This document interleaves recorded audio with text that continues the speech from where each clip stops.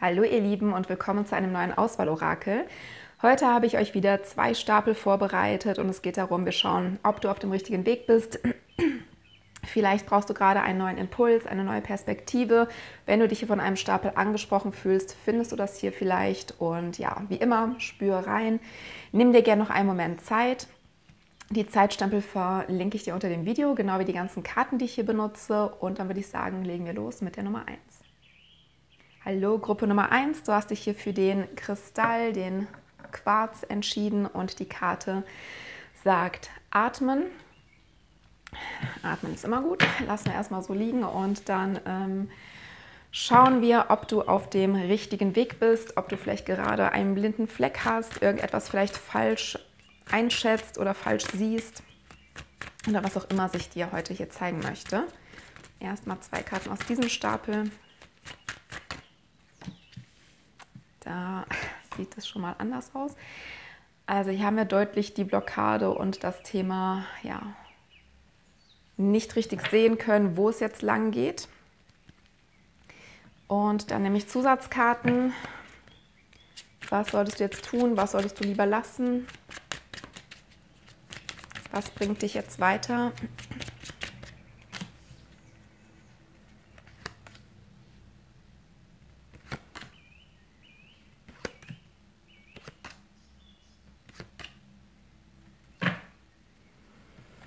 Okay, also hier liegt auf jeden Fall schon mal sehr viel Unklarheit und hier mit der Karte Atmen ist schon ein ganz klarer Hinweis, dass ähm, es wichtig ist, dass du mehr in die Meditation gehst oder dich mehr mit dir beschäftigst, in deinem Energiefeld bleibst und dich nicht so von äußeren Umständen ablenken lässt und vor allem nicht zu sehr von deinen Gedankengängen äh, und mehr auf dein, deine Emotionen hörst, auf deine Wahrnehmung, auf deine Intuition.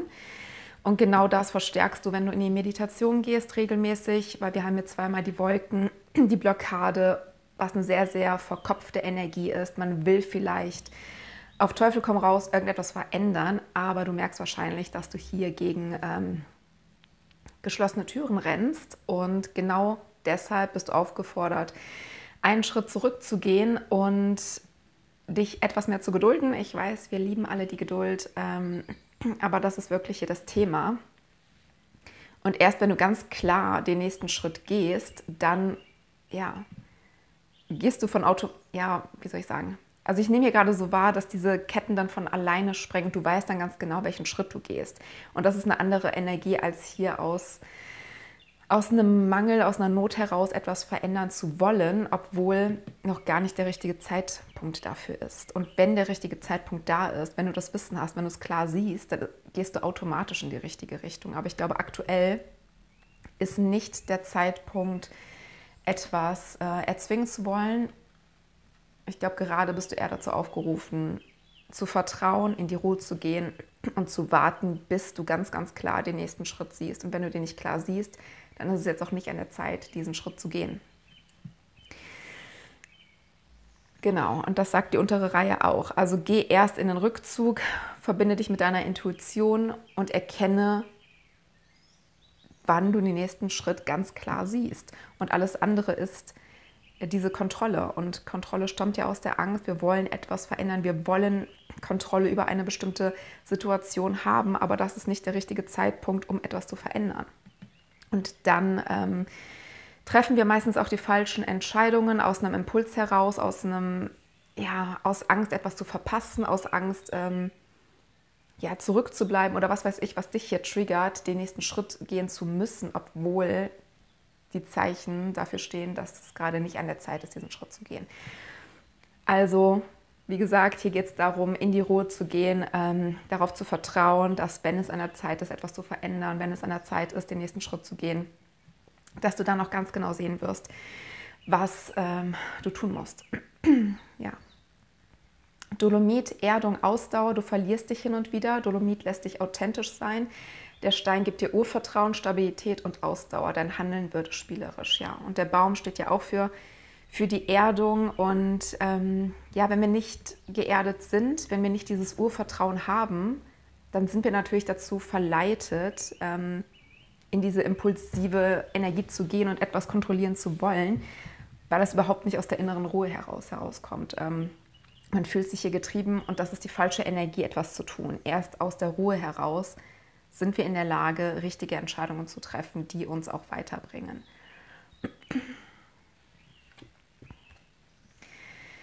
Hier haben wir das Duftpfeilchen, die liebliche. Verletzungen sind ein Teil des Lebens. Manch, manche bleibenden Narben, ob seelisch oder körperlich, bestimmen unser Leben.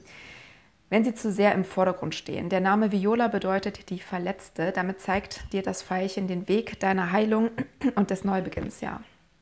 Der Baum steht ja auch für Heilung. Und gerade ist es, bist du noch eher in der Heilungsenergie. Es braucht noch ein bisschen. Ähm, Du musst noch ein bisschen deine Erdung stärken, dein Urvertrauen. Und dann, ja, wird das Ganze ja auch spielerisch. Dann erkennst du ganz genau, was du tun musst. Aber du bist gerade nicht in der richtigen Energie. Wenn wir nicht klar sehen können, dann ähm, sollten wir auch kein, keine Entscheidung treffen. Ja, Transformation. Die Raupe wird zum Schmetterling. Ähm, genau das Gleiche. Der Frieden und die Ruhe in dem Kokon bereiten die Raupe für die Veränderung vor. Vertraue deinem Weg. Ähm, es sieht so aus, als ob du ja am Ende angekommen bist, als ob du, als ob sich nichts mehr tut, aber genau das ist der Punkt, wo die Raupe quasi zum Schmetterling wird. Deswegen Ausdauer, Vertrauen und Rückzug sind gerade eher deine Themen als Aktivität, als etwas erzwingen zu wollen. Und darauf darfst du vertrauen dass gerade alles gut ist, wie es ist, dass du gerade nicht aktiv etwas verändern musst, sondern ähm, in die Heilung gehst, in den Rückzug, in die Meditation, dich mit deiner Intuition verbindest und dann wirst du merken, wann es wieder an der Zeit ist, etwas zu tun. Ja, die Balance spricht auch nochmal von derselben Energie, Harmonie, bereit zu empfangen, Einheit des Universums, das ewige Wissen. Ja. Und das empfängst du auch nur, wenn du in der Ruhe bist, wenn du geerdet bist, wenn du mit deiner Intuition ähm, verbunden bist. Es gibt Atemtechniken, Atem, Atemübungen, Meditation, ähm, falls du damit noch nicht so vertraut bist. Es gibt unendliche unendlich viele YouTube-Videos, die kannst du dir angucken und das vielleicht täglich irgendwie in deine Routine einbauen, damit du hier zur inneren Ruhe kommst. Und erst aus dieser Energie macht es Sinn, den nächsten Schritt zu gehen. Und dann ist dieser Schritt auch ähm, von, ja, wird auch von Erfolg gekrönt sein. Ertrag einbringen, Zuwachs, Fülle, Belohnung erhalten, Bereitschaft, das, was wir gesät haben, zu empfangen. Ja, und das geht halt auch nur, wenn wir dem Samen auch die Zeit geben, ähm, zu wachsen und auch vertrauen, dass wir jetzt alles getan haben, damit hier irgendwie etwas zustande kommt. Hier haben wir nochmal den Anker. Ja, habe Vertrauen und wähle ähm, den Optimismus. Also sei optimistisch. Also ganz, ganz viel Vertrauensenergie kommt hier raus. Du musst jetzt nichts kontrollieren, du musst nichts verändern, du darfst jetzt vertrauen. Und hier haben wir noch das Fernglas. Ähm, ja, schau genauer hin. Ja, vielleicht guckst du auch zu weit in die Ferne und du siehst deinen ähm, Fortschritt noch nicht richtig und du fokussierst dich vielleicht irgendwie auf das falsche Ziel oder beziehungsweise kannst gar nicht wertschätzen, was du schon alles erreicht hast, wo du stehst und was sich schon alles verändert hat. Und dadurch fühlst du dich vielleicht auch getrieben, weil du das Gefühl hast, du kommst nie an, aber das ist ja irgendwie die falsche Energie. Hier haben wir noch das Thema Vergebung. Vielleicht gibt es da noch ein Thema. Ich weiß nicht, ob du dir vergeben musst, weil du vielleicht in der Vergangenheit mal falsche Entscheidungen get äh, getroffen hast und daraus jetzt vielleicht auch diese Angstenergie stammt, dass du Angst hast, dass schon wieder irgendetwas schief geht oder schon wieder irgendwie du nicht dahin kommst, wo du hin willst. Und das ähm, verstärkt auch diese FOMO-Energie, dieses ähm, Angst haben, etwas zu verpassen oder Angst haben, ähm, nicht zur richtigen Zeit am richtigen Ort zu sein. Aber wie du siehst, das stammt ja alles aus dem fehlenden Urvertrauen, aus der fehlenden ähm, inneren Sicherheit. Und genau das möchte sich hier gerade aber integrieren. Hier haben wir noch die Ich-Präsenz, Lichtkörperaktivierung, Zugang zum Göttlichen im Inneren. Ja, es ist auch wieder diese Verbindung zu deiner inneren Weisheit, zu deiner Intuition. Und wenn du da gefestigt bist, dann kannst du Entscheidungen aus einer viel, viel stärkeren Ruhe heraus treffen. Und genau diese Entscheidungen bringen dich auch weiter. Aber wie gesagt, gerade sehe ich nicht, dass du ähm, etwas tun musst. Ich glaube, du hast schon sehr viel getan. Und jetzt gerade ist noch so ein bisschen die Rückzugsenergie, sich neu zu sammeln, neu zu regenerieren, Themen in die Heilung zu bringen. Und dann wirst du ganz, ganz klar merken, was der nächste richtige Schritt ist. Räume auf, ähm, öffne deine Fenster, ja, reinige deine Räume, genauso aber auch deinen, ähm, ja, dein Haus, deinen Geist. Ja, gerade ist eher so die Aufräumenergie. Mach dir ja, schau dir an, was du für Gedanken hast, welche negativen Gedanken, weil wir haben ja auch hier, wähle den Optimismus, welche negativen Gedanken dich immer wieder irgendwie zurückhalten oder diese Angst fördern, dass du nicht im Vertrauen bist, weil genau das möchte sich hier auch transformieren. Ja, glaube an dein Glück und hier schütze Energie. Du hast lange Zeit ein bestimmtes Ziel verfolgt und wie gesagt, der Same ist bereits gesät und es braucht jetzt nur ein bisschen Geduld, bis du hier ähm, erkennen kannst, dass das Ganze auch Früchte tragen wird. Aber dafür ist es auch wichtig, zu vertrauen und diesem Samen einfach auch den Raum zu geben, zu, zu wachsen. Und glaube daran, dass es gut wird. Also es sind eigentlich sehr schöne, bestätigende Karten. Ja, und hier haben wir nochmal die Stärke. Du bist stärker, als du denkst und ähm, Ja, ich nehme die ganz, ja, deswegen die Karte atmen. Du darfst jetzt ausatmen, du darfst dir auch mal Ruhe gönnen, du darfst jetzt erstmal äh, entspannen und darauf vertrauen, dass jetzt alles in die richtige Richtung ähm, geführt wird. Und auch hier mit dem Berg, nämlich weil du bist, du hast alles getan. Und gerade gibt es nichts Großes zu tun, außer zu vertrauen, loszulassen, Dinge aufzuräumen, die noch aufgeräumt werden müssen. Ähm, und dann einfach zu entspannen und diese Transformation hier irgendwie abzuschließen. Also eigentlich eine sehr schöne Energie. Ähm, was ziehe ich noch abschließend? Ich glaube, ich möchte eine hier raus. Was gibt es hier noch abschließend zu sagen?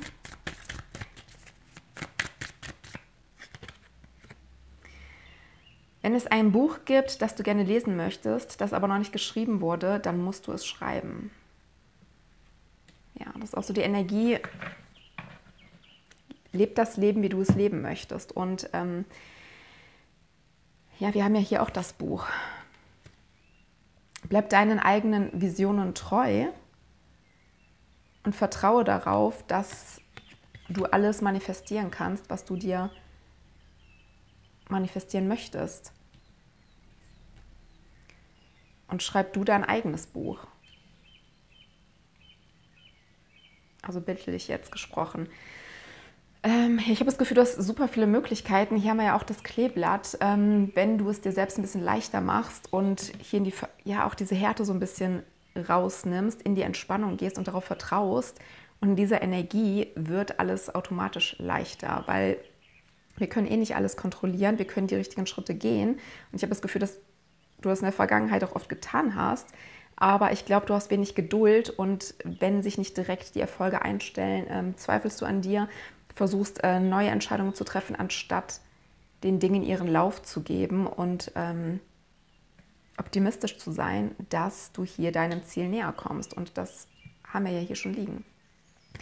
Also eine sehr schöne Botschaft. Ähm, du kannst es vielleicht noch nicht ganz äh, wahrnehmen und ja, wie gesagt, arbeite an deinem Vertrauen, meditiere mehr, damit du in diese Ruhe kommst, geh in die Natur, um dich zu erden und dann gibt es hier nicht viel zu tun.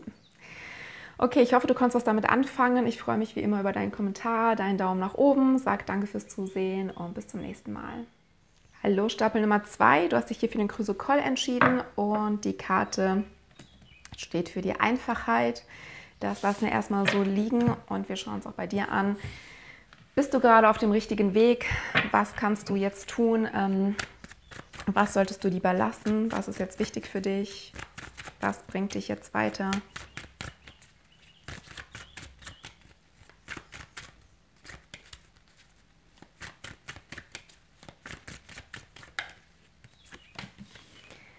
Da haben wir den Anker und den Bären.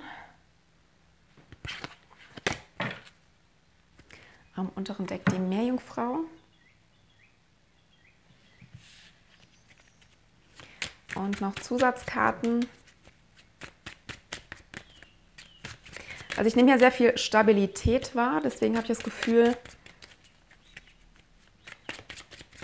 dass du auch, ähm, ja, dass du, glaube ich, an deiner Unsicherheit gearbeitet hast. Ups. Da haben wir das Kleeblatt und die rosarote Brille. Und nochmal den Bären, die Lilien, die Meerjungfrau und die Wege. Ja, und das Thema Unsicherheit zeigt sich hier nochmal. Ähm, also bleibe weiterhin in deiner Stärke, lass dich nicht von deinem Weg abbringen, weil andere vielleicht ähm, eine andere Meinung haben, weil andere deine Vision nicht teilen, weil andere irgendwie ähm, anders sind als du. Lass dich davon nicht irgendwie ähm, verunsichern, weil ich habe schon das Gefühl, dass du dir, ähm, ja, du hast auch sehr viel Weisheit und du siehst die Dinge auch einfach anders als andere Menschen. Und wichtig ist, dass du die Leichtigkeit irgendwie nicht verlierst. Das kann ja auch eine sehr starke Schwere sein und äh, macht dir das Leben nicht schwerer, als es sein muss. Ich glaube, du hast auch gar keinen Grund dafür, weil das Kleeblatt steht auch für die Leichtigkeit. Und du darfst auch optimistisch sein und optimistischer. Vielleicht, ähm, ja, ich nehme wahr, dass du sehr hart zu dir bist. Und dafür gibt es eigentlich keinen Grund.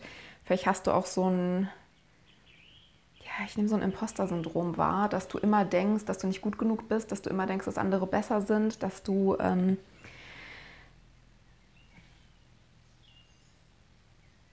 ja, du hast irgendwie Angst, nicht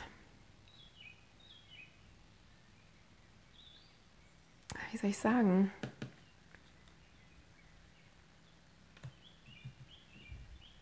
Sorry, ich fühle es, aber ich finde die richtigen Worte nicht dafür. Ähm, mal gucken.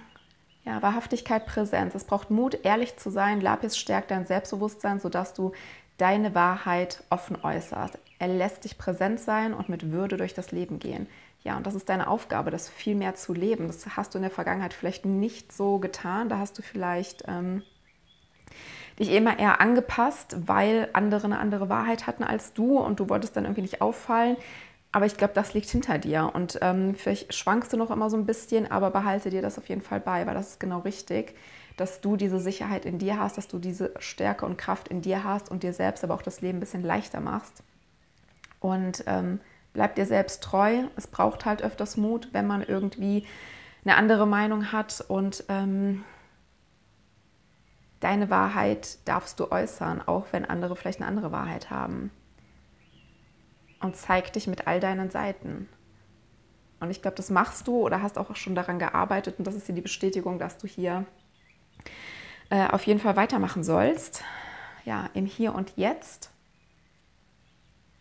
Ich glaube, die Vergangenheit liegt auch hinter dir. Du ähm, hast da vieles aufgearbeitet, ähm, bist aber auch im Frieden mit dem, wo du jetzt bist. Und das gibt dir auch die Leichtigkeit, wenn du dich immer wieder oder mal wieder verlierst in ähm, was wäre, wenn oder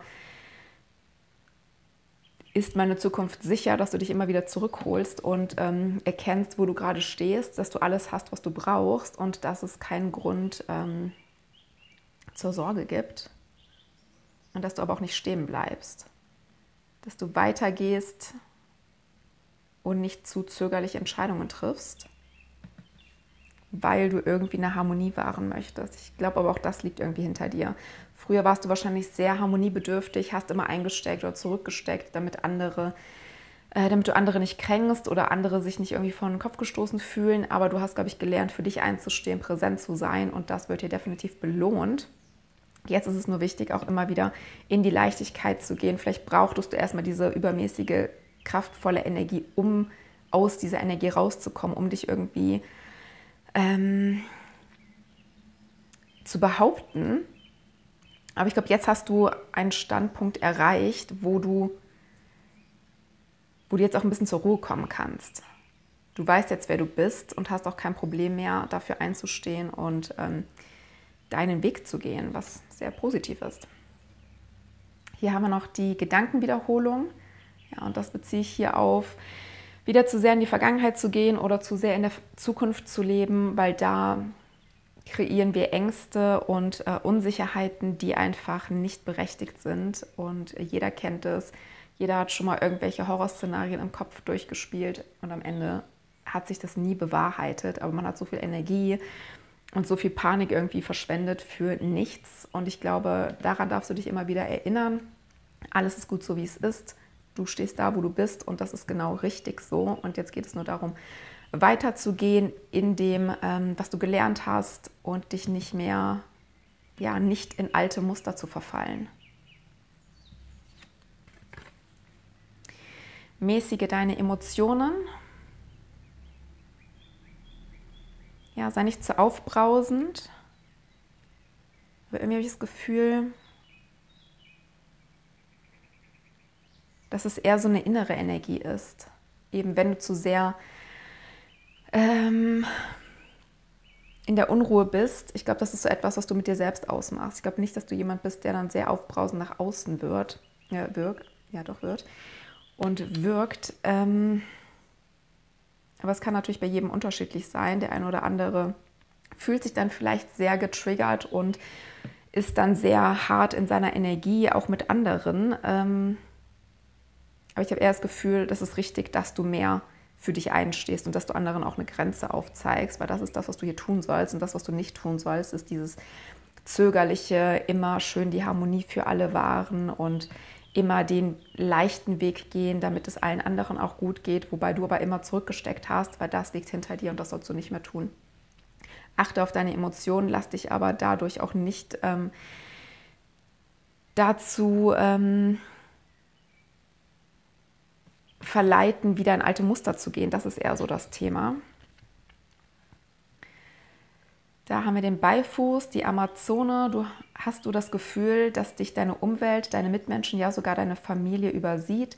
Ist es aber vielleicht sogar so, dass du dich selbst übersiehst, du deine Wertigkeit nicht wahrnimmst, dann wird es Zeit, dass dir der Beifuß zeigt, wo deine Stärke und Kraft liegt. Okay, und das ist ja genau das wir haben jetzt zwar mal den Bären und ich habe das Gefühl, du bist schon ziemlich weit und ähm, hast das auch schon transformiert. Und ich glaube, es ist immer wieder eher diese Erinnerung, nicht in alte Muster zu verfallen, wenn irgendwie eine sehr emotionale Situation auftaucht. Erkenne, sei im Hier und Jetzt, hab, lass dich nicht in alte Muster ver, ähm, verleiten und atme durch und erkenne, wo du jetzt stehst und dass du da, dass bestimmte Situationen auch gar nicht mehr deine Energie brauchen. Dass du aus bestimmten Situationen auch einfach rausgewachsen bist. Das ist hier so das Thema.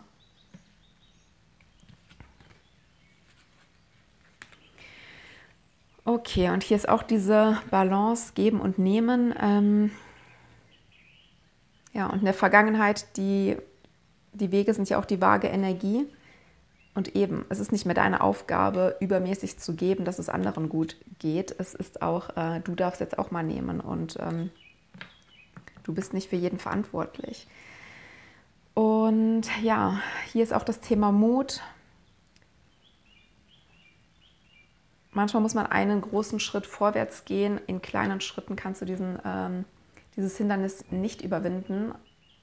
Und genau das hier mit dem Bären ähm, sagt ja auch das Gleiche. Und der der Reiter, der auch weitergeht, sich nicht aufhalten lässt, weil man hier irgendwie Angst hat, eine falsche Entscheidung zu treffen, weil die Entscheidung irgendwie negative Auswirkungen für jemand anderen haben könnte. Aber es geht hier um dich und um deine Präsenz, um deine Wahrhaftigkeit. Und da ist es wichtig, sich selbst treu zu bleiben. Da haben wir die Niederlage und den Fortschritt äh, besiegt werden, Resignation, Überforderung, Opfer eigener und fremder Ansprüche, neue Zielsetzung, gestärktes Bewusstsein, Meilensteine. Ja, und genau das ist das Thema. Ich nehme hier die ganze Zeit wahr, dass das eigentlich hinter dir liegt. Du bist diesen Schritt gegangen, du hast dich aus diesen Verstrickungen hier gelöst, du stehst zu dir und deiner Meinung und äh, lässt dich nicht mehr fremdbestimmen. Und genau das hat dir diesen Fortschritt gebracht. Ja, und Schnelligkeit, das ist ja auch der Reiter äh, Überwindung von Missverständnissen, und Streben. Ja, es ist eine sehr erfolgreiche und starke Energie. Und genau dann kann es natürlich sein, wenn du früher eher unsicher warst, wenn du es früher eher anderen Menschen recht gemacht hast, dann sind das genau und die Menschen, die davon profitiert haben, werden jetzt sagen, dass du ähm, egoistisch bist, dass du nur an dich denkst, dass du ähm, ein schlechter Mensch bist, aber nur weil du diesen Menschen die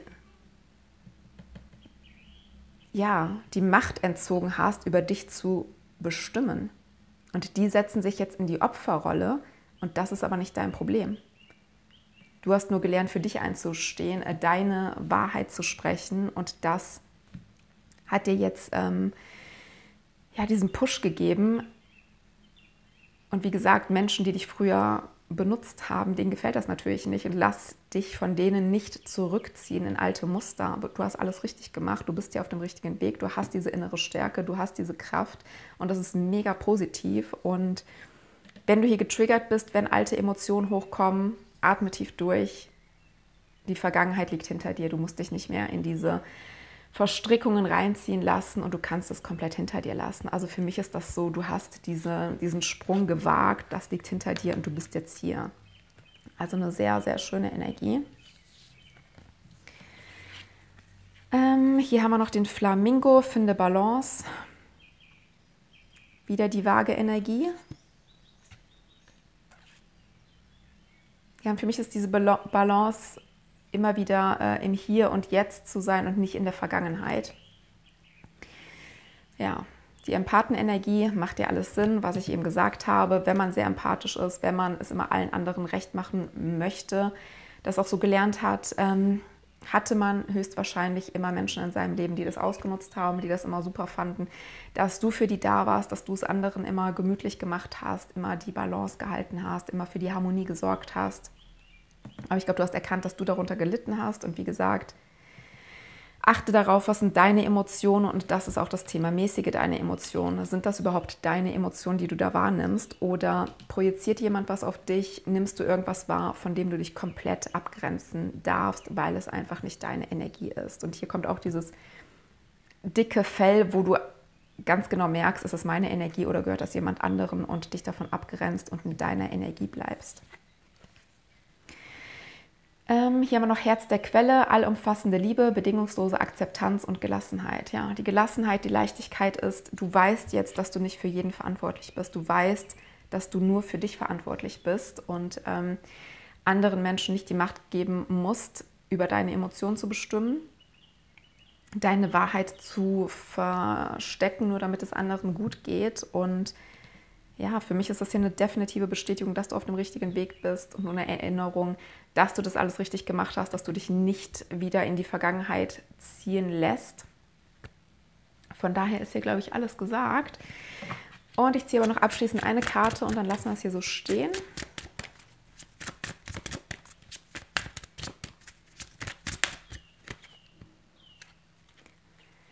Wie du dein Leben mit einer selbstverständlichen Leichtigkeit lebst, ist beeindruckend. Bewunderung, Schönheit. Ja, jetzt haben wir nochmal das Thema Leichtigkeit. Und eben, wenn jemand voll und ganz in seinem Leben angekommen ist, weiß, wer er ist, was er will, ähm, strahlt er natürlich was aus, wo andere vielleicht neidisch sein könnten. Andere versuchen, irgendwas auf dich zu projizieren und dich aus dieser Energie zu holen, damit es denen besser geht, weil, die das, weil ihr eigenes Ego das vielleicht nicht ertragen kann, dass du hier diesen Sprung gewagt hast, dass du ja, es dir erlaubst, dein Leben so zu leben, wie du es leben möchtest, weil andere Menschen sich das vielleicht nicht erlauben.